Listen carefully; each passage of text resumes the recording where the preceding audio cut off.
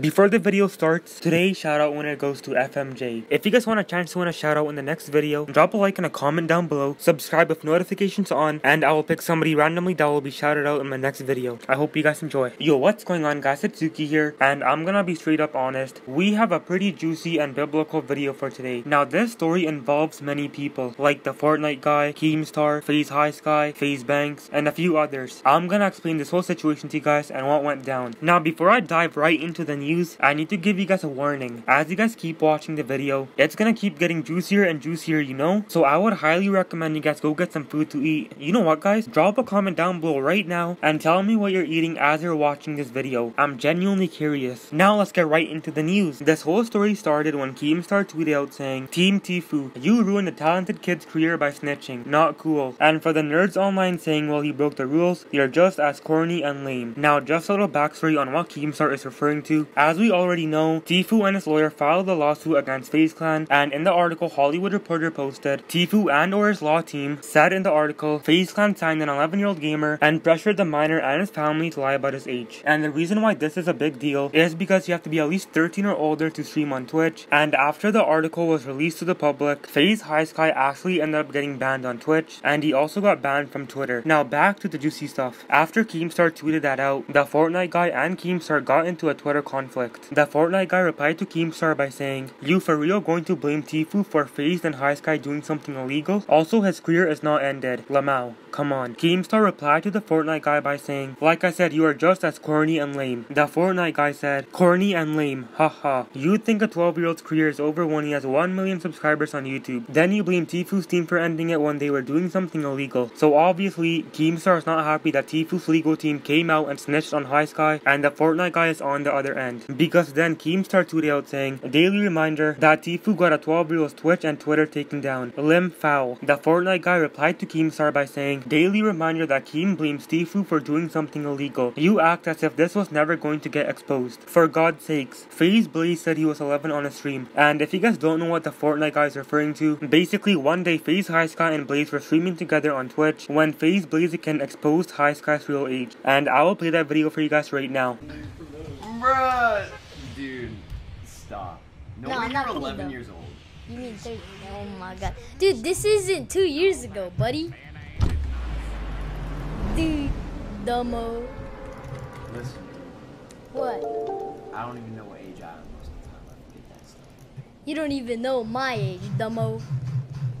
Haven't even told you my age. I told you I'm 13. So you know crazy stuff guys and you know after this Keemstar and the Fortnite guy just kept going at it and it just keeps getting juicier. Keemstar replied to the Fortnite guy by saying you're the type of dude that hunts down the manager at the movie theater to rat out a few kids that snuck in their own candy. Then the Fortnite guy drops the balls. He replies to Keemstar by saying and you're the type of dude to blame a security camera for catching someone break the law. And as you guys can see on the screen Tfue is siding with the Fortnite guy because Tfue liked the Fortnite guy's tweet to Keemstar and then Keemstar drops all the balls guys. He said on Twitter, yeah at Tfue not sure why you like this tweet. If you cared so much about the law then why were you drinking underage? Illegally jumping off of bridges etc. And you know Keemstar does have a point here. By the looks of it, Tfue doesn't really care about the law. He just put the FaZe High Sky situation in the article to make FaZe look bad and so Tfue could get out of the contract. And then the Fortnite guy said he's liking it because it's the truth. You can't blame someone for calling the cops on a criminal robbing a bank. So why can you blame Tfue's team for exposing FaZe for doing something illegal? And the reason why the Fortnite guy has a big problem with this is because FaZe High Sky is actually competing in these tournaments. You have to be over 13 years old to compete in them. And since FaZe High Sky lied about his age and he's competing in these tournaments and he's not following the rules, FaZe High Sky is qualifying for all these different tournaments and doing so, he is doing it underage when somebody who is actually following the rules could have been in FaZe High Sky spot. So in a way, High Sky is finessing the system, you know? Because the Fortnite guy also tweeted out saying, no hate to High Sky, but he was literally playing in the World Cup and ruining other players' chances. He was top 100 a ton and definitely killed some of the top players every week. Very possibly that he ended someone's chances. And another reason why FaZe shouldn't have let Sky compete in the World Cup illegally. Banks saying, oh well, he was lying about his age before he joined us and his family was okay with it. So it's okay, we didn't mind. It's not an okay excuse. So you know, I do see it from the Fortnite guy's perspective and I also see it from Keemstars. And speaking of FaZe Ricky Banks, FaZe Banks actually ended up dropping all the balls on the Fortnite guy after Keemstar tweeted out saying, You are literally the king of misinformation, so let's play a game. I will bet you 10 grand cash that FaZe did not break any law by signing High Sky. Do you accept? Then the Fortnite guy replied with, Oh my god, so are you saying FaZe did not know High Sky's true age? No man, they literally allowed their 11 year old player to stream on Twitch and play in the Fortnite World Cup. Not only this, but they lied to the entire community. I don't think you want to make a bet. And FaZe Ricky Banks comes in hot replying to the Fortnite guy by saying, Allowed High Sky to stream and play in the World Cup. What are you even saying, dude? I've ignored and ignored you, but it's starting to get annoying. 1. High Sky's agreement with us is bulletproof and there's absolutely no laws being broken. 2. We have zero control in what he does every day. Then the Fortnite guy replies with, You have no control in him playing in the World Cup? Question mark. If my player signed to my organization was 11 and playing in an event I need to be 13 in, I'd step in and stop it. But hey, you are not at fault at all. And not like you lied to your entire community about his age or anything, huh? It seems like the Fortnite guy is very opinionated in the situation because he also said, I'm shocked that you just said you have no control over what High Sky does when he's representing your world class organization. Oh my god. So at this point, this is all blown out of proportion. Twitter is blowing up, the Fortnite scene is in shambles. This was the highlight of the week, you know. And then FaZe Banks replies with, So the F what? High Sky was doing his own thing, streaming slash playing before we came into the picture. We loved him, brought him in and just supported what he was doing. If his parents are 100% okay with it, and they've made the decision as a family to do that, then who the F am I? And FaZe Banks does have a really good point here. High Sky was streaming on Twitch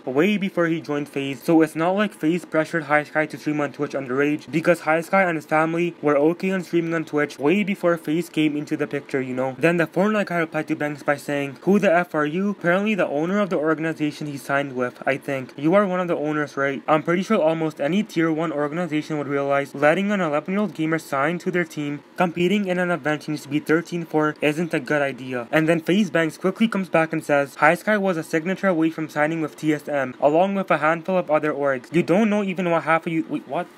Again, you don't know even half of what you think you know. So FaZe Banks quickly shuts down the Fortnite guy's response by saying TSM, which is also tier 1 organization, almost signed High Sky. And then the Fortnite guy replied with, Okay, then tell me what I don't know. I've tried reaching out so I can ask you all these questions in an interview, but no response every time. You gotta realize these responses you're making to me sound so dumb. Then FaZe Banks quickly fires back by saying, Why would I care to sit down and talk to a kid who consistently trash talks me slash my brand? Who's jumped to more conclusions and got so much more wrong than right? It's clear you don't like me, and that's fine. But you are the trash you are spewing is just nonsense. And I can see why Banks doesn't want to do an interview with the Fortnite guy. Then the Fortnite guy replied to Banks by saying, Bro, what are you talking about? My first two videos covering the situation, I actually defended you and said you guys were in the right. But you wouldn't know that because you probably haven't even watched half my videos. Get your facts straight, man. And then FaZe Banks didn't say anything. And also, guys, don't think we forgot about Keemstar. Keemstar replied to the Fortnite guy's tweet by saying, You have said on Twitter and YouTube multiple times that FaZe Clan broke the law by signing High Sky to FaZe. I bet you 10 grand that FaZe did not break any law by signing High Sky. Do you accept? Stop changing the subject. Keemstar also replied to the Fortnite guy by saying, Why do you keep changing the subject? You said on Twitter and YouTube, FaZe broke the law by signing High Sky. Admit you are wrong on Twitter and YouTube, or make that 20k bet that you are right. And Keemstar just keeps dropping the balls on the Fortnite guy. Keemstar tweeted out saying, Someone needs to make a video of all the times the Fortnite guy has put out false information. It's embarrassing at this point. Dude won't even back up his own words with a 20k bet. Hashtag sad. And if you're wrong, fine. Just admit it and move on. So you know, Keemstar is kind of exposing the Fortnite guy in a way that he doesn't do all of his research when he makes his news videos, and he's giving out false information. Then the Fortnite guy replied with, I'd say someone needs to make a montage of all the stupid stuff you've said as well, but I don't need to because it's already been done a thousand million times. Or whatever that number is, guys. I'm too lazy to count it up, you know. Keemstar also said, also if someone wants to make a YouTube channel dedicated to debunking the Fortnite guy, after a few videos, if I like what I see, I'll give you a plug from hashtag drama alert.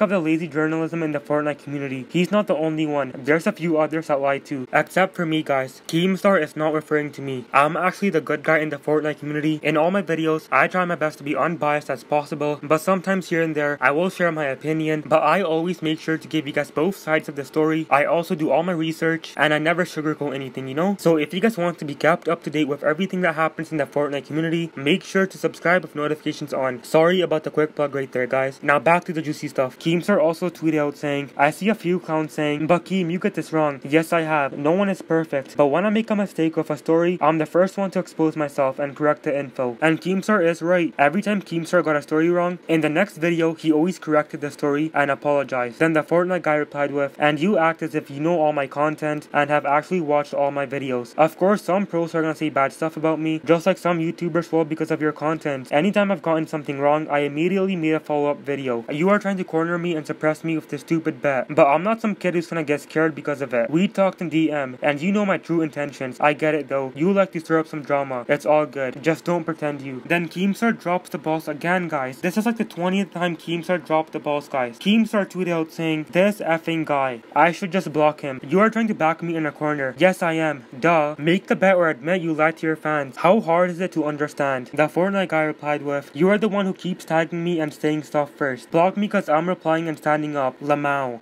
Keem, you crack me up. Then Keemstar says, Standing up for what? Want to stand up for yourself and your own words and make the 20k bet. You have 5 minutes, and I'm blocking you cause you keep talking but won't back up your words. Then Keemstar started memeing the Fortnite guy on Twitter a little bit, as you guys can see in the screenshots. And when the Fortnite guy saw Keemstar tweeting about him, he tweeted out saying, It's sad seeing this man tweet about me. I can't even respond cause he blocked me. He can't handle someone disagreeing with him, flaunting money and requesting ridiculous stuff. How about you just tell us the info that makes me wrong instead of withholding it for a bet? And the second last ball Keemstar dropped on the Fortnite guy was this. Time's up. Fortnite Fibber. His new name has been blocked cause he would not make the bet, so no one will win the 10 grand. However, I feel bad had to suffer with all those tweets. So I'm giving away a console of your choice to one person, retweet to win, and winner will be picked in one hour. And in the screenshot, you guys can see that Keemstar did in fact block the Fortnite guy, and this tweet has over 24k retweets. Also, I don't understand why the Fortnite guy doesn't accept the bet. Because trust me guys, money is not the problem in the situation. Everybody involved in the story, they all make so much money guys. You guys have no idea. The Fortnite guy, Keemstar, FaZe High Sky, they all make so much money. So it's not like the Fortnite guy doesn't have the money. Because if the Fortnite guy knew for a fact that he's in the right in this situation, he would have accepted the bet. And by him not doing so, it really speaks volumes on where the Fortnite guy stands in this situation. One of the last few things the Fortnite guy said was this. Look at all of these grown men trying to corner me because I've called them out for their BS. Put 20k down, P word. No, I'm not gonna back down. You are on Twitter calling Tfue a snitch for what? Because he was being effed by FaZe question mark just almost every other esports player. All these organizations are taking advantage of players and I am glad someone is taking a stand and is going to hopefully change how these teams operate in the future. I'm not the one on trial here. At Banks, how about you show the proof of the million dollar contract with zero splits that was offered to Tfue because you talked that stuff up like crazy. But when the time came for FaZe video, there was no zero split offer shown. And then Keemstar dropped one final ball on the Fortnite guy. Keemstar made a video on Twitter replying to the Fortnite guy and this is what Keemstar had to say.